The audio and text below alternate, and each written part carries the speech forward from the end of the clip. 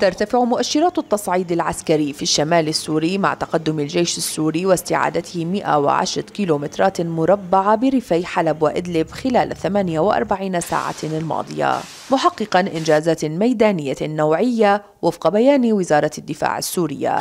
هذا التقدم شهد تعزيزات هي الأولى من نوعها للنظام التركي داخل الأراضي السورية. لا سيما أن الاجتماع الذي جمع الروس والأتراك لم يخرج بحلول ما فتح الباب أمام احتمالات متعددة لتغيير قواعد اللعبة وربما الوصول إلى اشتباك مباشر بين دمشق وأنقرة في ظل تعقد المشهد العسكري على الأرض في إدلب. احتمال الوارد هو أن يحصل اصطدام آه، حاليا الجيش التركي آه، لا يبدو أنه آه، مستعجل لهذا الصدام لأن عملية التطويق التي نفذها الجيش العربي السوري خلال الأيام الماضية للقوات التركية في خمس مناطق مراقبة آه، لم يبدي فيها الأتراك أي آه، مقاومة. ومع تفاقم الحد للأعمال القتالية في الشمال السوري ودخول الجيش السوري الحدود الإدارية لإدلب واقترابه من مطار تفتناز العسكري. تشهد الساحة السياسية وساطة جديدة تعمل فيها طهران على خط دمشق أنقرة. لتقريب وجهات النظر وفتح مسار مباشر بين الطرفين.